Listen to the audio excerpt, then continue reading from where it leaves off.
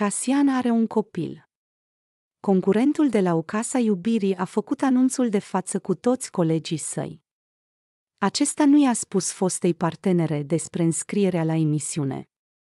În a doua parte a ediției de luni, 19 iulie, din Casa Iubirii, Casian a făcut dezvăluiri uluitoare din viața lui personală. Acesta a mărturisit că are un copil și a explicat în ce relație a rămas cu fosta lui parteneră. Casian a vorbit despre copilul său abia la o săptămână după intrarea în casa iubirii, ceea ce i-a surprins pe colegii lui. Însă acesta a explicat că a vrut să se acomodeze cu atmosfera înainte de a expune aspecte din viața lui personală, mai ales că acesta este unul foarte important pentru el. Ce dezvăluiri a făcut Casian despre copilul său?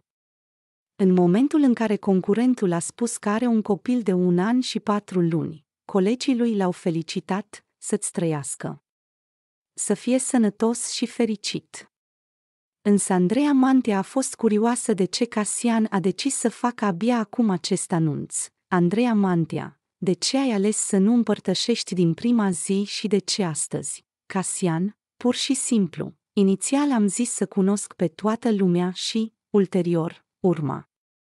Asta am zis, în decurs de maxim o săptămână, după ce mă acomodez aici și să nu fie prea multe pentru mine, în primul rând, dintr-o dată. E mai greu să gestionezi foarte multe dintr-o dată.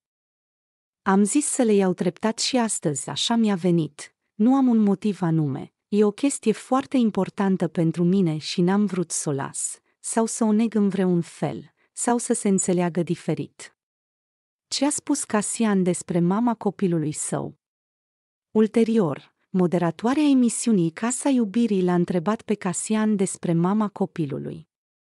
Aceasta a vrut să afle în ce relație se află, în prezent, tânărul cu fosta lui parteneră și dacă a anunțat-o în legătură cu înscrierea la show-ul matrimonial, într-o relație foarte bună, bazată pe respect. În primul rând și-am numai chestii bune de spus despre ea, mai ales vis-a-vis de copil și vis-a-vis de relația în care am rămas noi.